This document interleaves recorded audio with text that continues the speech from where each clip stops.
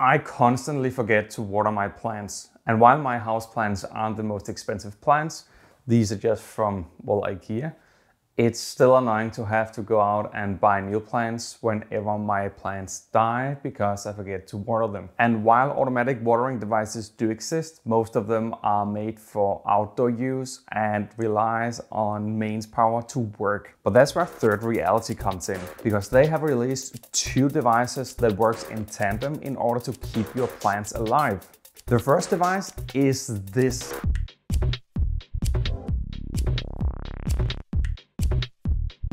a smart watering kit. It works as a water pump that can pump water from a water source that you have placed near your plants and then water your plants whenever you tell it to or based on a timer you set in the app. Now on this thing it works in tandem with the second device that Third Reality has released.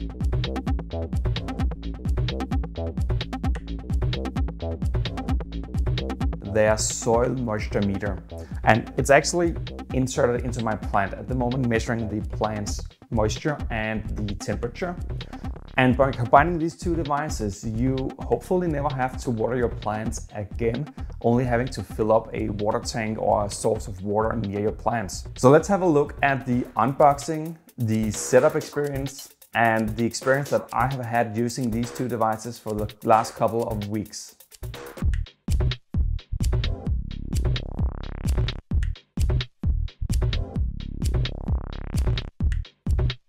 First off, Third Reality hasn't sponsored this video, but they did send me over the two devices so that I can test them. However, they haven't seen the video in advance, so all of the thoughts are my own.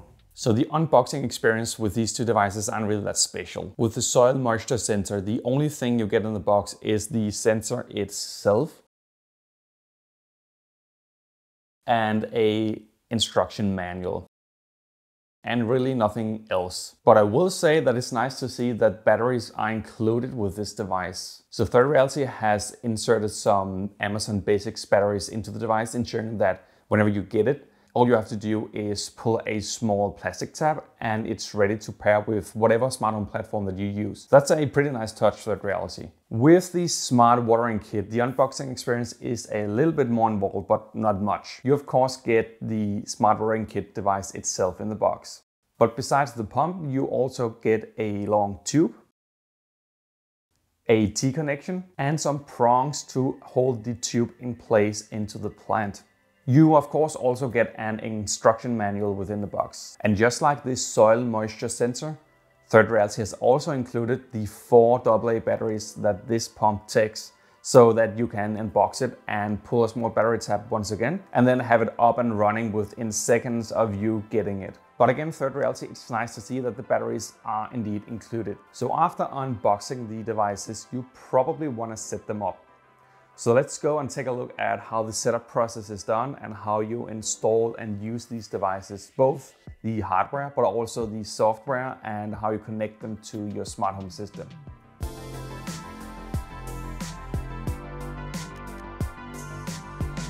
Both of these devices are Zigbee based, meaning that if you do have a Zigbee based smart home hub, they probably will connect to them.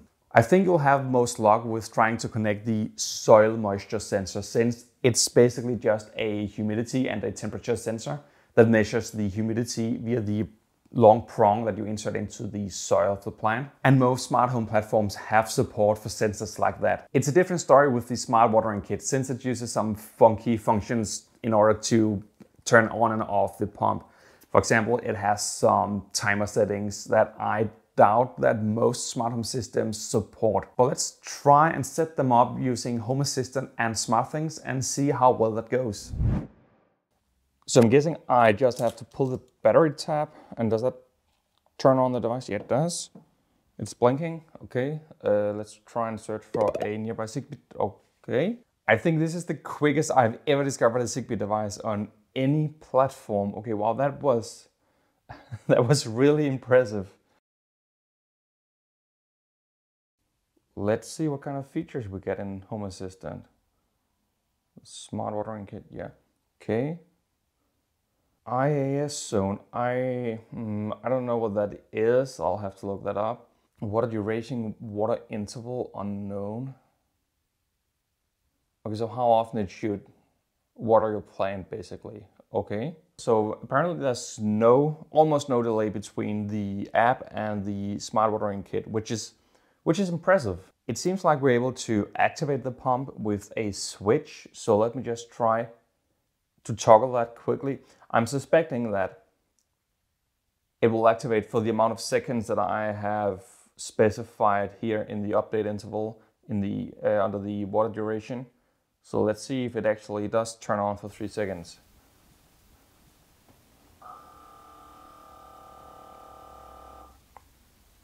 I don't know if you heard that, but yeah, it definitely turned on and it sounded like it was three seconds. Let me change that to something that is more distinguishable. So let's say, for example, uh, 10 seconds and it updated, yeah. And that was definitely 10 seconds. Okay, so it does seem like we are able to fully control every feature from Home Assistant, uh, which is which is really nice. But yeah, that's basically the functionality you get by adding this to Home Assistant via ZHA. According to Third Reality, you can also add it to Home Assistant via Zigbee to MQTT. But one of the really cool things about the device and one of the huge benefits I think with having something like the Third Reality watering kit is that all of the features that you just saw in the app, you can also use or adjust simply by using the buttons on the device itself. So if you don't want any of the smart home features, you don't have to use them because everything can be adjusted from the front of the device using these buttons here. But of course, the real benefit with having something like this comes when you combine it with the moisture sensor that they also sell. And it can also be added to Home Assistant via ZHA or Zigbee to MQTT. So adding it to Home Assistant is just as easy as with the watering kit. So let me just show you what you get. It measures both the humidity and the temperature around where you have placed it. So the temperature is obviously the temperature in the air. It's measured from somewhere from the body of the moisture sensor. But the humidity is not the humidity of the air, but rather the moisture of the soil that is measured by inserting the prong into the soil of your plant. So by combining the humidity data from the soil moisture sensor, you can tell when the smart watering kit should water your plants. So instead of relying on a schedule that might change depending on how hard it is, or whether or not the sun is shining directly at the plant, you can rely on data from the moisture sensor to send commands to the smart watering kit and give your plants the optimal amount of water, ensuring that you don't drown them, but you don't dry them out either. But doing this, you would basically set up a simple automation that says that whenever the humidity goes below a certain threshold, the smart watering kit should activate and give your plants some water. So here I have a bowl of water and I know it's not the most optimal bowl of water to use, but it's all I really had uh, at hand. So next you're gonna use the bag of accessories and the tube that came with the smart watering kit. You're also gonna need a pair of scissors because you have to cut the tube in two so that you can feed one of the tubes from the source of water to the watering kit and then from the watering kit to your plant or your plants. So there's nothing special about this tube. It's just a plastic tube uh, in the manual, it says it has a diameter of 0.24 inches. I'll put a tick in the video that shows what that is in millimeters, since that's what I'm using. So my plan is really just to test this out. So I'm just gonna cut a tube there. That seems like a good place to cut it. And to ensure that the pump isn't being clogged by small particles or dirt, they give you this small filter that you need to insert into the end of the tube that you put into the source of your water. And the other end of the tube, you'll have to press fit into the inlet here. In the outlet, you'll connect the other hose or the other tube that you have, just like that. And at the end of that tube, you're gonna want to connect a water dropper. So with this, you can adjust how quickly the water is being delivered to the plant. To ensure that the tube stays in place in your plant, they also give you a few stakes here so that you can connect that to the tube and insert it into the soil in your plant, ensuring that even if the water makes the tube move around just a tiny bit, it won't fall off the plant. In the back of accessories, you'll also get a T-joint meaning that you can connect two plants to the same watering kit if you want to do that. But now that we have attached the tubes and we have a source of water, we can install the dropper and place the other end of the tube into our source of water. Okay, let's see if it's able to water my plant.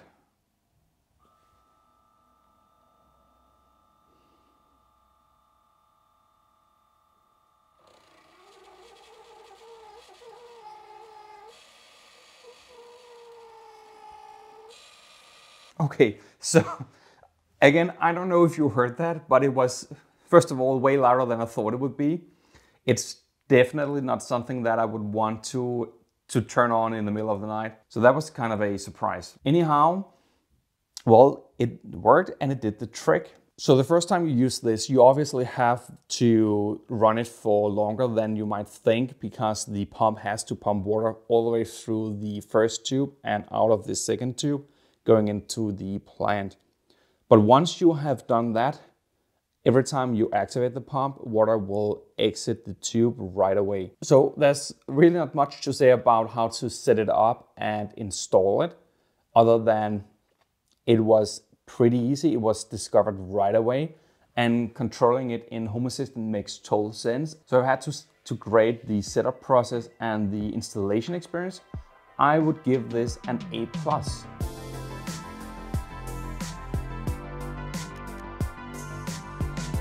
So, well, so how's the semi-long-term experience? I've only had these sensors set up for a few weeks now, so it's not really a long-term review. But still, I do have some experience that I feel like I have to share. First off, the smart watering kit has been rock solid on both Home Assistant and SmartThings, and I haven't experienced any dropouts from this device at all on both platforms. And still, even if this device do drop out from your smart home platform, you can still rely on the timer functions since all of the timers are stored locally on this device. This also means that you don't have to connect this to any smart home platform if you don't want to. You can use this as a dumb smart watering kit basically uh, only relying on the internal clock to water your plants, if that is what you want. But it's a different story with the soil moisture sensor. On SmartThings, I haven't experienced this dropout after a week, so it seems stable enough on SmartThings. On Home Assistant, on the other hand, this sensor keeps dropping out. So I've connected this to Home Assistant via ZHA and Repeatedly after a couple of days, this sensor will terminate the connection with Home Assistant. Whenever trying to reconnect the device, it reconnects without any problems, but it keeps dropping off Home Assistant. On their website, Third Reality does claim that this works with both ZHA and Zigbee 2 MQTT. It's kind of a shame that the moisture sensor doesn't really keep a connection with Home Assistant. Because if it did work, I was actually planning on getting a few more for my other plants around my apartment. But seeing that this is as unstable as it is, I think I'll hold on buying more of these until I see a firmware update or until a new version is released with better stability issues. I imagine that if you use Third Reality's own hubs, you won't experience this connection issue either. Well, I say I imagine it because even though Third Reality did send me over the Zigbee hub, this thing refuses to connect to the app for some reason. No matter if I try to connect to the app via my iOS device or my Android device, this thing refuses to show up for some reason. It's not that it refuses to connect to my network, it's that it refuses to even show up in the app, no matter which connection mode I try to use. I don't know, third reality, maybe this hub is just not working for me, or maybe something is going on with your app and I need to wait for an update or something. So if you do have a third reality hub and we're hoping that I have had any experience with the stability on this thing, I simply don't because For me, this app doesn't work, but if I do get this thing working and I do get it to connect with the sensors that I got, I will tell you in the description how my experience was.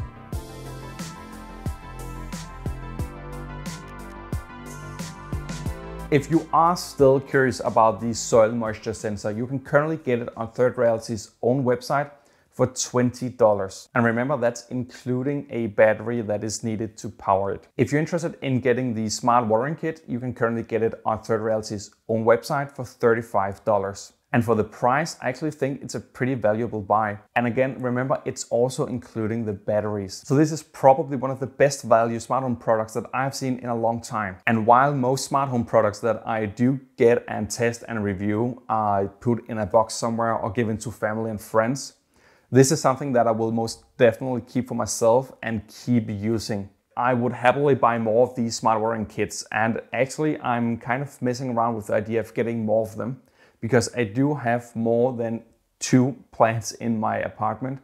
And as I said, when going away on a vacation, it's pretty nice to not having to worry about having to water these plants or having to have someone come over to a place and have them water them for you. So while this soil moisture sensor is something I would hold off buying, the smart watering kit is something that I can easily recommend to someone who wants to be able to automate their plant watering.